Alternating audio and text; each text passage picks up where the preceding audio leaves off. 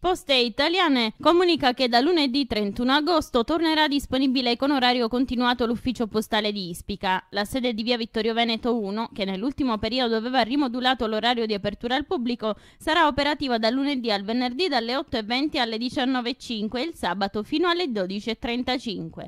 Accanto al programma di riapertura e ripristino degli orari al pubblico, all'interno della sede di Ispica l'azienda ha installato una segnaletica orizzontale per indicare alla clientela come comportarsi durante l'accesso e il transito nei locali, consentendo un'attesa più confortevole e supportando i clienti per il mantenimento di un corretto distanziamento sociale.